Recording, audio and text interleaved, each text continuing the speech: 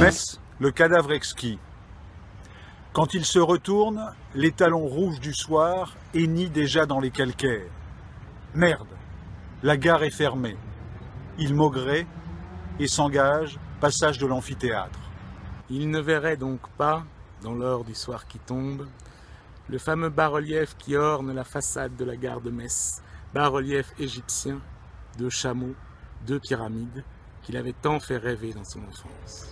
Il ne le vit pas car la première fois euh, qu'il tenta de, de, voir le train qui devait l'amener de Berlin dérailla, et la seconde fois, euh, la Première Guerre mondiale avait éclaté et euh, les réseaux de la Reichsbahn étaient entièrement occupés par les acheminements militaires. Il ne le vit pas, mais cependant, ce bas-relief détermina toute sa carrière euh, d'égyptologue et c'est en fin de compte à cela que nous devons la découverte des plus beaux temples de Nubie. Il décida de changer totalement de perspective.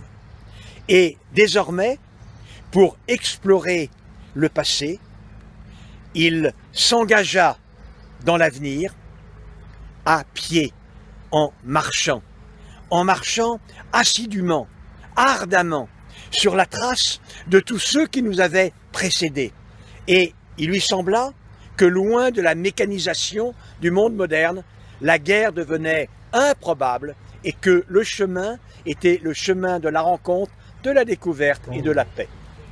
Vacillant, incertain, il choisit donc de rentrer chez lui, de s'asseoir, de ne plus bouger et de regarder par la fenêtre. Son regard traça des diagonales sur le square d'en bas, des cercles concentriques, jusqu'à repérer, ramasser, minuscule, inerte, la forme rouge auprès du banc.